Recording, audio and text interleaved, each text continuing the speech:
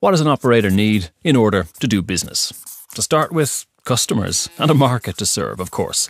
That means a geographical area with people living in it. And this area needs to be covered by a network. And today, more than 40% of the world's mobile traffic goes through Ericsson networks. But what do operators need to do to make their business a success? Control costs? Find new sources of revenue? Provide a better customer experience? Well, the answer is yes, all of these things, in fact. And they all come together in the processes and systems that keep an operator's business in business. Operations support systems and business support systems, or OSS and BSS. One thing we've learned about telecom over the past 130 years is that it is always evolving. So, working with OSS and BSS means always adapting, changing, fine tuning, improving, and updating. It means knowing exactly what's going on from one end to the other through all the network elements. And it's not just in mobile networks, but all the parts, fixed and mobile, that make up the networked society. A network needs to be planned in order to work at its best. It may need to cover mountains, forests, lakes, small towns, and big cities in order to reach every customer. And then the network needs to be built. And then once it's built, someone decides to construct eight new skyscrapers and a business park and a football stadium in the city. So even after the network has been planned and built, there's optimization, a process that never really ends getting people started using all the things the network society can offer, like calling, texting, watching news, twittering, and so on, on all sorts of devices, fixed and mobile, in all kinds of locations, well, that's called fulfillment. This involves getting all the different parts of the network delivered by different vendors and all those services to work together to communicate.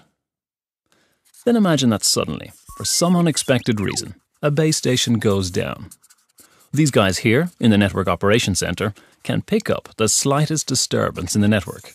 Their role in the chain of operations is called assurance. We call all of this OSS. But operators also need to make money. It is a business after all. They need revenue management. So, to look after the girl with a postpaid subscription and the guy with a prepaid card, there have to be mechanisms for billing and charging in place. These ensure that customers pay the correct rate for different services at different locations at different times. For example, if a customer has used up all the data he is paid to receive, the data rate automatically drops. The subscriber gets a notification and an invitation to purchase more data at a higher speed.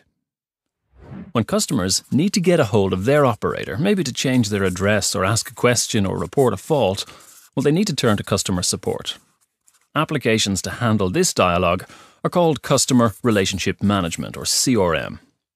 All these systems, the ones that are looking after the business, are referred to as BSS. Ericsson has been doing all of this for operators for 130 years, but the complexity and the scale of today's multi vendor networks and service offerings are staggering. Enormous volumes of data need to be processed, analysed, and translated into ways to improve the customer experience and with 50 billion connected devices expected around the world by 2020, well, let's just say it won't get any easier. A handful of brilliant engineers in a room full of maps. That's how network planning was handled 25 years ago.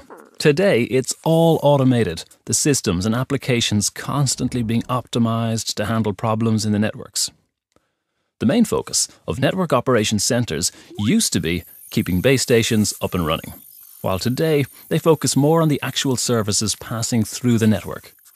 So these days, they're often referred to as service operation centers. Customers calling for support don't want to wait for answers on why something isn't working or how much data they're allowed to download, or to find out about their invoices.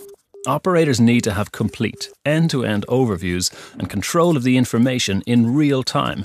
They need to have answers ready before the customers even call customer support. OSS and BSS.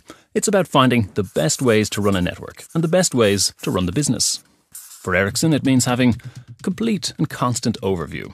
For operators, it means Ericsson helping them improve their bottom line.